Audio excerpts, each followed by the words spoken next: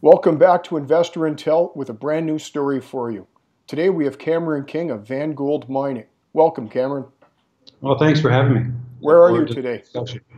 I'm in uh, Guanajuato, uh, Mexico, at the uh, the mine office. Where's Guanajuato? What part of Mexico is Guanajuato in? Guanajuato is in the actual center of Mexico. It's seven hours from east coast, from either coast, and about three hours northwest from Mexico City. Right. That's a historic mining district, isn't it? Yeah, from uh, the 1550s. It was one of the first um, large mining areas of all of Mexico. And if I understand correctly, the property that you have, uh, El Pinguico, is a historic mining asset itself. Yes, it uh, was uh, one of the highest grade producing mines in uh, turn of the century. And it ran from 1906 1913. It was uh, forced to shut down from a little uh, revolution out here in Mexico that uh, pitchforks, pitchforks and machetes chased all the Americans and the Brits and the Spanish away. So, and it's been sitting there for 100 years and uh, owned by one family, and uh, they kept it. And we made the, the acquisition uh, on December 14th last year, and it was approved by the exchange in April this year. Uh, do you have access to the historical mine production records? We have a our database is very significant in all the assays, the tunnels, the method of mining, uh, the grades, the old reports. We have a whole. That was basically why we uh, acquired the property was the historical data on the high grade and the system that was all developed around here. So it's a mining. Mining's in the DNA of this area. That's for sure. Well, I, I don't know if you chose that spot in particular for the interview, but I see what looks like a Gantt chart behind you for Vangold Mining. Yeah, that's our uh, timelines. Uh, we've uh, I, uh, I work by results um, results planning instead of planning and all that. So we we pick dates out in the future, work back, and say this is the date we're going to meet it by. Um, we started that uh, with the, with our team and our directors in end of March, April, and we're right on schedule with our strategy. So the overall corporate strategy is you have a variety of assets in Mexico.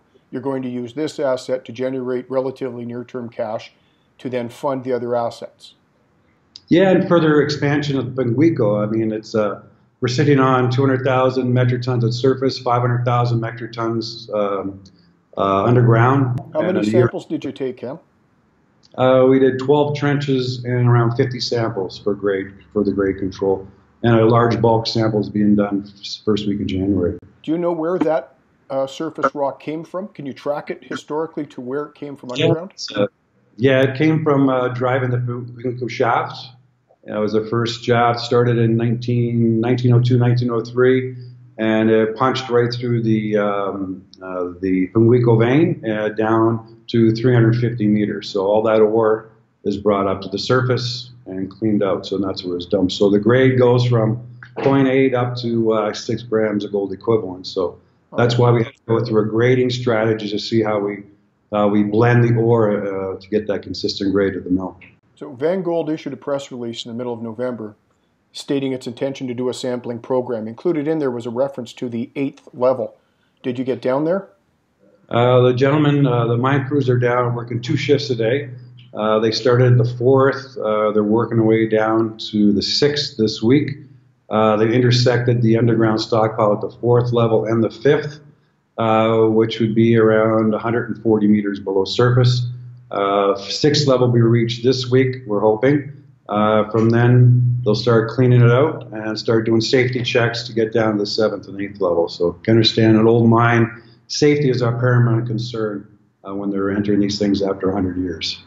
It's amazing that all of that, uh, the stopes and everything's still available after 100 years. It must be very settled rock, like doing work in northern Ontario. Uh, you have to, uh, the pictures I sent you earlier, take a look at those from a recent site visit we did and it's just uh, amazing to see the size of the the stopes. Uh, they go from three meters wide to 17 meters wide, and you'll have a 90 meter stope over your head. All where it's all mined out. And it's just it's it's it's absolutely fantastic. So this is silver and gold. Um, Correct. So yeah, I would guess that the, the next major milestone would be the release of that sampling program. And I'm assuming that in that press release, you'll tell us what your next steps are after that. Yeah, we'll uh, be putting a news, an update news release out uh, the next couple of days uh, to let everybody know where we are and where we, what we expect on our timelines.